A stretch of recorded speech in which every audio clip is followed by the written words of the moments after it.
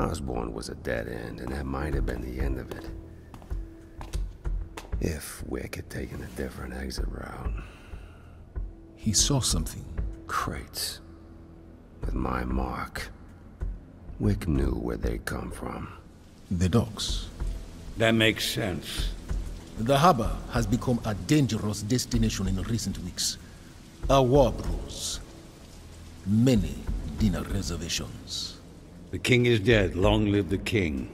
He had a daughter, a woman grown. I imagine she felt there was a birthright to be exercised. A contested birthright. They always are. They contest mine, too.